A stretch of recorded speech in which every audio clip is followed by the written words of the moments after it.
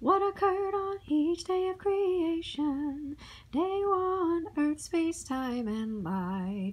Day two, the atmosphere. Day three, the dry land and the plants.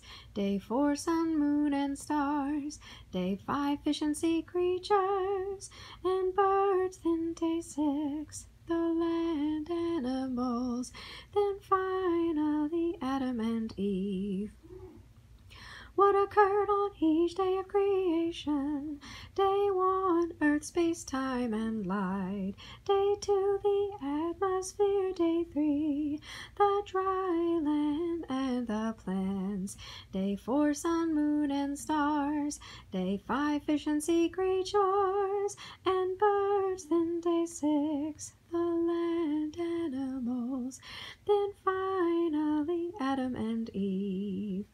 What occurred on each day of creation? Day one, earth, space, time, and light.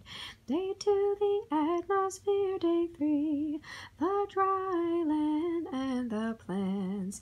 Day four, sun, moon, and stars. Day five, fish and sea creatures and birds. Then day six, the land animals.